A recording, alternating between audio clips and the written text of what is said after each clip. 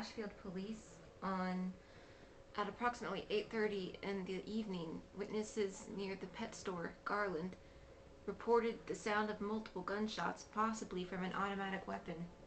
By the time the police arrived, the perpetrator had already fled, and the shop owner, Steve Garland, was found dead with a probable submachine gunshot wound to the head.